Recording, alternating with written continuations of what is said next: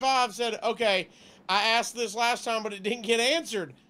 Dog, have you ever seen a UFO? So Uh, here we go. no, no. Okay. have not. Want to so bad. Oh, okay. Also, really want to see a Bigfoot. Like Oh. in, I just want to see it run across the road in front of me, and then I'll just poop my pants and continue driving. Uh, UFO, man, I would love to see one. I lived in Gulf Breeze, uh, Florida, and there was for a while Gulf Breeze was like sighting capital of the world or something for UFOs, and so Really? uh, yeah, but I never found it. A couple of them were found out to be hoaxes, but I don't know. Did you real? I want to. I want of Me and the Osbournes want to believe. You know what I mean? Did you? This is one of my favorite conspiracy theories I've ever heard. Did you know why so many Southerners get abducted by aliens? Is because the government, you know, the government's already talking to the aliens. They have a pact, but they want to do experiments, and we can, they can't just hand us over. Yeah. So they figured out what their favorite food is, and it's spam.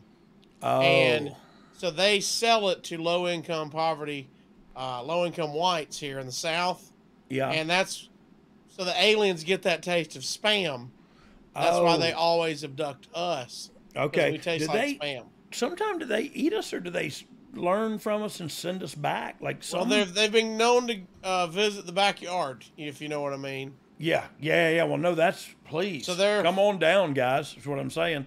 Um, getting the they're getting the spam well, I don't Yeah. keep mine there. Um, but if they want to, we could get what's in the cupboard. up in there We get in the cupboard if that's where they're where They- they're they hunting. I like can- it digested I, I can you. fry some of them, cut it up in chunks, and put it in some mac and cheese if they want to get their heads blown. really Yeah. okay that was aggressive our producer Don dominic is said, telling us he got his starfish inspected by a Martian once. I think what he means is by Martin, a guy named Martin. Once.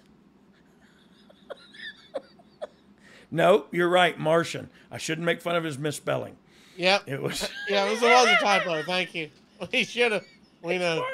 Martin was Sheen. Martin? He's talking about Martin Sheen on a movie set Well, one time. Look, Everyone knows. Glenn Close was a lumberjack. Martin Sheen's an alien. So Everybody knows that. everybody knows that. If we're going to start with aliens, it's Martin All Sheen. right. What's, what's, What's the next one?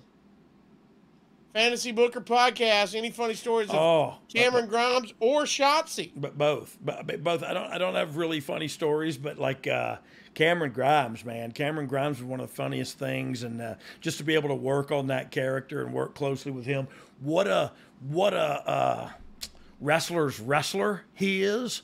Uh, he is the Brad Armstrong of the new generation. Like Brad probably could keep up with these guys, but like uh, Trevor really is that good in the ring. Um, so yeah, he's a spe- he's a special talent. Shotzi, uh, every encounter with Shotzi is a fun one. Like I don't have any really funny memories, but she's always fun to be around. And I got to shoot a lot of stuff with her and produce the you know the TV shows when she was the hosting the Halloween Havocs and stuff. So she's always a blast to be around. And and uh, what I love about her the most is her real life story uh, of who she really is. And and if you're interested, I'm sure you can find that info somewhere. I won't get into it here, but very very strong human being and uh, co- comes from a difficult place, and and now she's on top of the world chasing a dream. You know, so ku- kudos.